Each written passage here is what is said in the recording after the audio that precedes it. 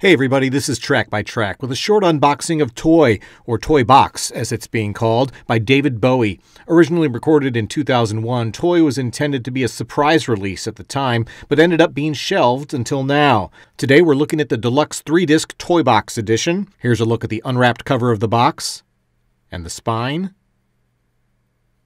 and the back cover. Lifting the top to look inside, we find this fun pattern inside the lid. And here's the 16 page booklet.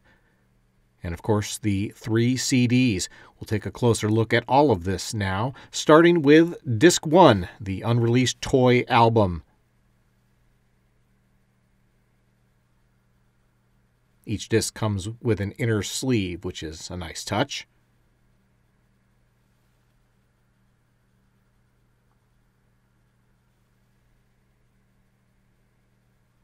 Here's Disc 2 Alternatives and Extras.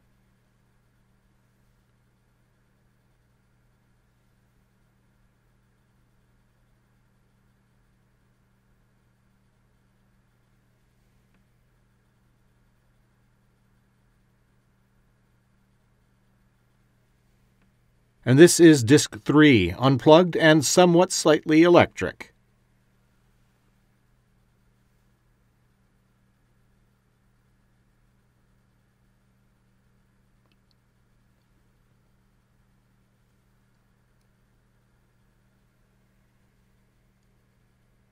Finally, now here's a look at the 16 page booklet. I'll just flip through that for you now.